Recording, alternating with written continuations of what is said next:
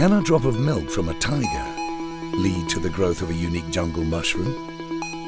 According to Malaysian Aboriginal folklore, the tiger milk mushroom, or Lignosus rhinoceros, originates from a tigress milk that dropped onto the forest floor.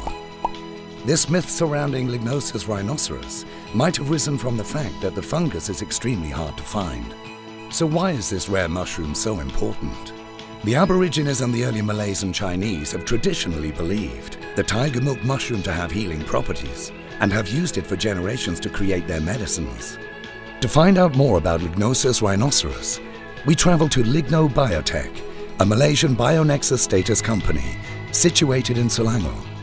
The researchers at Ligno Biotech have studied these rare mushrooms for over a decade and developed an in-house proprietary method for the quick cultivation and mass production of these beneficial mushrooms.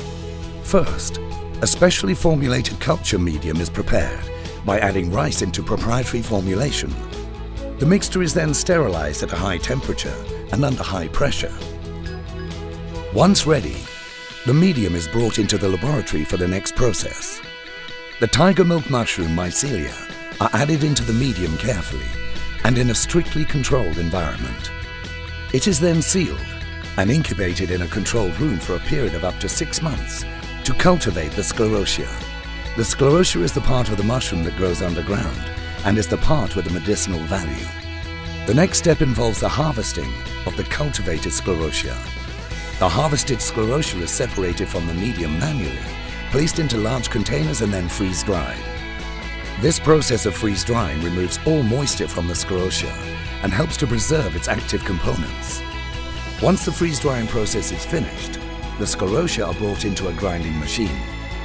This industrial strength machine is able to grind the sclerotia into a fine powder form suitable for production of capsules.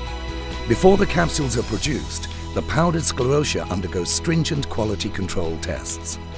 The first test that is run is the microbial assays, designed to ensure that a product is safe to consume and free from contaminants. Next is the chemical profiling process, using HPLC, MSMS to guarantee the quality and consistency of every production batch. The tiger milk mushroom is only one of the many medicinal treasures that have been found in our abundant wildlife. This is biotechnology, building the future today.